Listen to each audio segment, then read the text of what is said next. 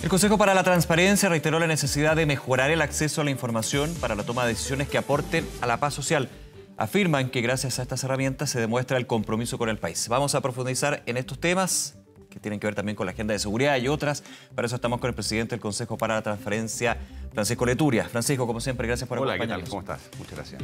A ver, eh, ¿cuál es eh, el, el foco que están eh, de alguna manera situando desde el Consejo para la Transparencia? Yo decía, agenda de seguridad se puede aplicar en términos de acceso a la información a otras agendas, pero concentrémonos en esta primero. ¿Cuál sería el aporte de tener una información más transparente cuando sabemos que en temas de seguridad muchas veces eh, hay procesos que requieren más hermetismo, por ejemplo?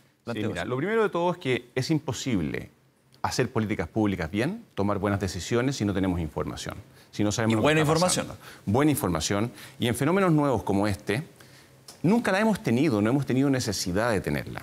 Entonces, cuando alguien tiene un problema, un médico, por ejemplo, lo primero que hace es ver los exámenes, hacer un diagnóstico, hacer un pronóstico y un plan terapéutico. Ya. Eso Muchas es lo mismo con- que tenemos con que los aquí. antecedentes del paciente anteriores, digamos. con También. todos los antecedentes que puedan tener y que, y que médico. permitan en- entender la situación que está pasando.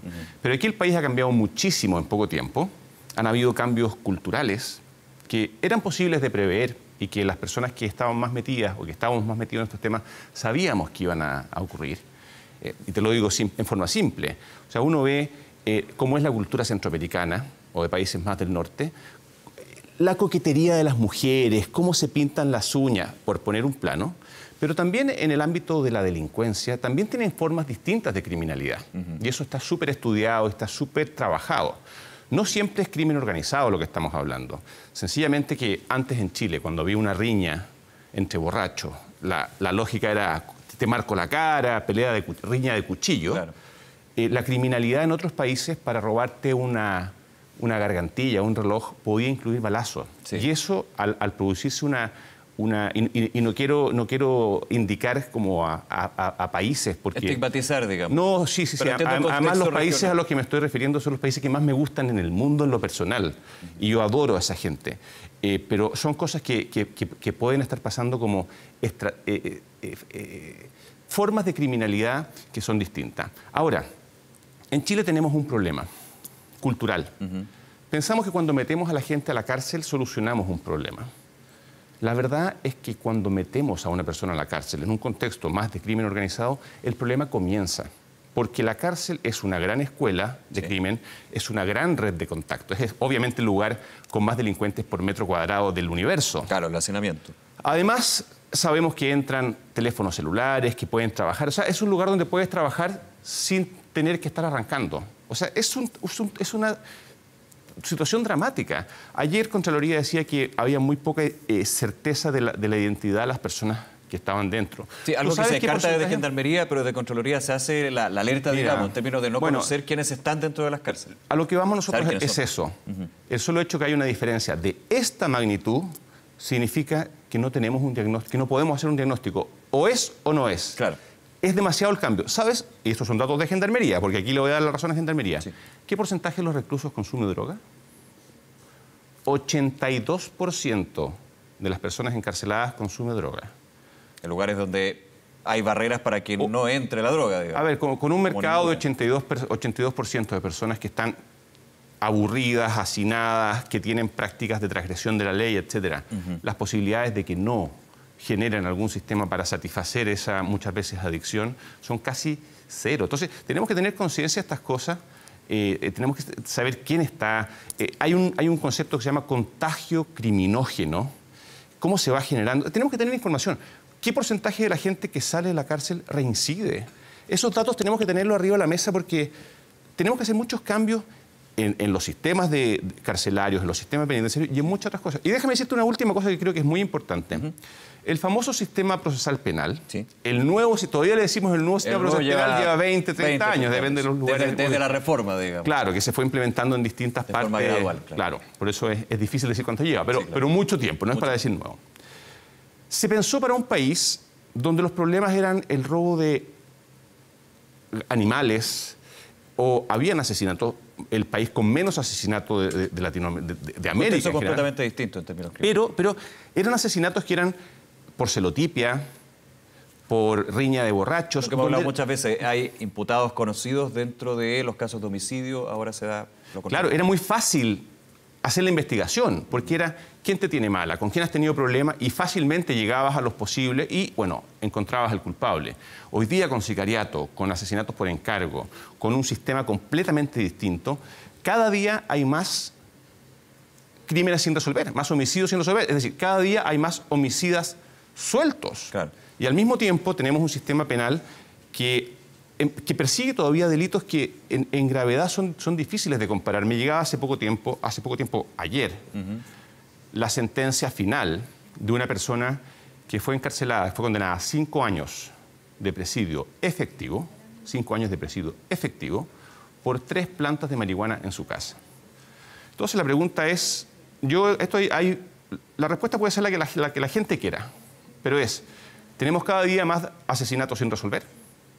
Tenemos 82% de los reclusos que consumen marihuana, o sea, drogas. Sí, sí, claro, Y estamos metiendo preso por cinco años, por cinco años, a una persona que tenía tres plantas, cuando la marihuana creepy y otras de fuera de Chile con bandas organizadas, etcétera, entra, entra, entra, entra. Entonces tenemos que, tenemos que poner esa información arriba de la mesa para decir en qué país queremos vivir. Déjame detenerme un segundo en temas de la información y algo que siempre hemos comentado y, en muchas conversaciones aquí en el canal nos pasa.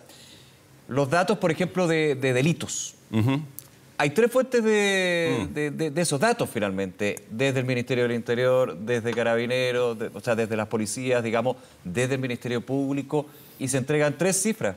Y eso uno dice, hay tres cifras, ¿con cuál me quedo? Son distintas las metodologías, eso es Exactamente. Pero finalmente hay tres cifras cuando se habla de cuántos delitos para hacer esa radiografía y tener esa información que tú dices. Exactamente. Bueno, y, son tres metodologías que tienen cierta razón, porque para un, para un juez el, homicidio solo queda determinado cuando hay una sentencia que condena. Antes hay presunción de inocencia. Entonces uno puede decir, este delito parece homicidio, pero mira, en el mundo de la economía tenemos el IPC que tú puedes decir, mira la canasta, yo nunca compro coliflor, nunca compro papas, nunca compro aceite de maravilla. Pero lo tenemos, es una metodología que tenemos hace mucho tiempo, que todo el mundo respeta, que, se cumple, que, hay, que permite medir y entender algunas cosas. Podrá aplicarse correctivos, pero, pero tenemos un estándar.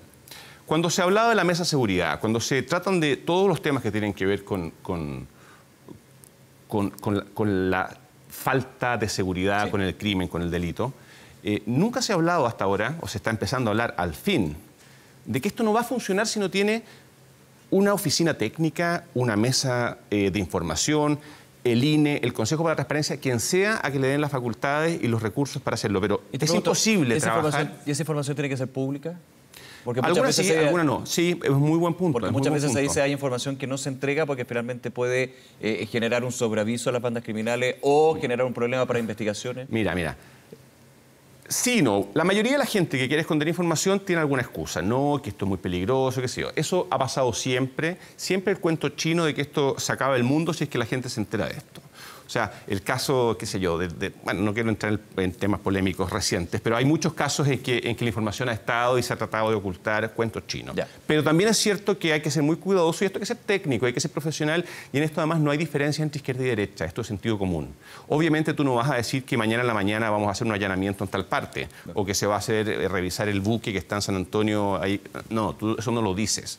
O el tema de la dotación de, de las policías o qué armamentos están en buen estado o no, o, ¿me entiendes? es obvio, es sentido común y yo creo que es muy fácil ponerse de acuerdo entre distintos actores políticos. También hay niveles. Una cosa es información que no esté, que es vida privada, o sea, que se metan en tu dormitorio, en tu teléfono celular, hay que tener restricciones, que nadie la debe tener.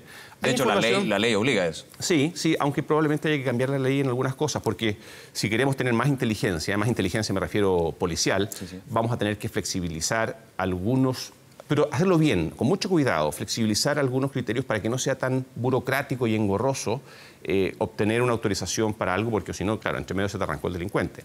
Pero es muy importante, o sea, hay que distinguir, hay cosas que no las puede saber nadie y cosas que las tienen que saber los equipos técnicos, como en todas partes del mundo. Hay consejos de seguridad que revisan, o las policías que están... Y después hay cosas ya que puede saber eh, el público. Cuando tú pinchas un llamado por teléfono, te enteras de muchas cosas que no son delitos. Te enteras que hay un papá peleado con un hijo, te enteras de que hay alguien que tiene un amante, dos amantes, tres, siete amantes, y que a todas les miente, y te enteras de que está cometiendo un delito. Eh, todo lo que dije al principio no es de interés público, es, vida privada, uno podrá tener una opinión positiva, negativa, eso, pero es aparte. Lo que es, hay que, hay que filtrar, lo que se puede eh, después hacer público es, muy poco. Hay que tener mucho cuidado, pero hay que hacerlo, porque si no lo hacemos estamos fritos, estamos sonados. Claro. No hay alternativa. Sí, Francisco, con todo esto que estamos conversando, eh, tú hace un par de semanas por el Consejo de la Transparencia, y el Consejo de la Transparencia estuvieron en Tebú con una serie de seminarios que están realizando sobre este tema y, veía que junto al general director de Carabineros, eh, Ricardo Ayañez, eh, ¿Esto cómo se toma desde las policías? También, obviamente, las, policías supeditadas a eh, el, Poder Civil, en este caso el Ministerio del Interior, pero finalmente también con este tema de cuánta información se puede entregar y qué tipo de información. Qué bueno que me estás preguntando esto, porque nosotros desde hace mucho tiempo y en conjunto con el general Yáñez, en conjunto con el director de la PDI, estamos trabajando esto, estamos tratando de decir, por favor, háganos caso. Es, es clave tener información. Y la información, hay una que es la que te perjudica las investigaciones. Pero hay otra que es la que te permite trabajar. Si tú sabes, por ejemplo, que la Araucanía, el 90%, es, es la región de Chile con más caminos. Y más del 90% de los caminos son rurales, es decir, cuando hay lluvia son intransitables. Hay comunas que tienen uno o dos autos. Los policías para comunicarse usan su teléfono personal y el WhatsApp, que todos saben que cuando uno sube un cerro pierde la señal. Claro. Entonces, cuando todo el mundo sabe que la policía no va a ir y que cuando vaya va a perder la señal en un lugar, qué fácil es hacer una emboscada. Entonces, decir estas cosas, que haya información, que existe información, eh, les ayuda mucho a ellos también. Eh, cuando hay problemas para la defensa de las policías, eh, cuando hay alguna acusación de, abuso, etc., hay graves problemas. ¿Qué pasa con, con, los mártires de carabineros? Me acuerdo, el año pasado conversaba con el general Yáñez a propósito de, de un carabinero de, la zona de, Renaico que murió asesinado en Chillán eh, y que estuvimos juntos en, un acto de reconocimiento donde se le puso a la prefectura el nombre de este carabinero. Y tenía la mujer un, hijo recién nacido, un hijo de cuatro o cinco meses. Yo le preguntaba, general, ¿ustedes se hacen cargo de la educación? De este, ¿Lo ayudan? Me dijo, tenemos que hacer una vaca tenemos que hacer una vaca entre, los, entre, los, entre los carabineros para poder ayudarlos. Entonces uno dice, qué vergüenza. La información también te permite saber eso. Yo me enteré ese día y dije, qué vergüenza de país. Esto no puede pasar, tenemos que divulgarlo para que se corrija. Y así, o sea, lo malo es que nos enteramos de estas cosas cuando hay episodios horribles como, como el que estamos viviendo, como esta crisis de seguridad. Pero estas decisiones deberíamos tomarlas antes para que después no, haya que tomarlas en caliente, con presiones, donde las leyes a veces no quedan lo, bien redactadas. Te, pongo un ejemplo quizá a la inversa uno podría decir, pero ¿cuál es la, eh, tu evaluación, Francisco, sobre esta modalidad que aplica el Ministerio Público sobre el asesinato del suboficial mayor Daniel Palma, de solicitar información a la ciudadanía entregando fotografía e identidad de sujetos de interés? Es un tema delicado. Tenemos que ir a la inversa, porque aquí la Fiscalía entrega, entrega una información que es bien sensible para la investigación, pero al mismo tiempo para poder tener más información, obviamente, de qué lugar estaban. Ah, mira, esto viene desde las películas de vaqueros, así se, busca, ¿cierto? Eh, son situaciones bastante extremas y bastante desesperadas, eh, pero cuando tú tienes a alguien, tienes que balancear probablemente si estás buscando un caso sencillo, que sabes dónde vive, que tiene una familia, que tiene bienes y que va a visitar a sus hijos, eh, puedes saber que vas a llegar a la persona fácilmente. Hay situaciones que por su gravedad, por, por lo extremadamente difíciles que son en pesquisar, por la conmoción pública que han generado, te obligan a tomar decisiones más radicales como esta. Eh, en otro caso, o sea, imagínate que fuera un caso de violencia intrafamiliar que nos acusen a cualquiera de nosotros, porque estas cosas pasan. A la gente la acusa con o sin razón de cualquier cosa, ¿cierto? Imagínate que anduviera tu foto, la mía, dando vuelta diciendo que, no sé, que maltratamos laboralmente a alguien. No, creo que en ese caso no se justificaría, pero en un caso que ha causado la conmoción que, ha causado este, de personas que no tenían documentos, que no tenían domicilio, que no tenían trabajo, que no tenían a veces incluso papeles, no veo que haya otra forma. Creo que eh, hay que calibrar según la gravedad de las situaciones. A mí en este caso me pareció, eh, a la vista de los resultados que he ido obteniendo, positivo. Además la gente se cambia color de pelo, se puede hacer bastantes trucos. Entonces... Francisco Lituria, presidente del Consejo de, para Transparencia, muchas gracias, como siempre, Francisco, por acompañarnos. Gracias, y este tema nos va a acompañar, desgraciadamente, mucho tiempo. Y lo vamos a ir conversando seguro, nuevamente. Gracias. A ti.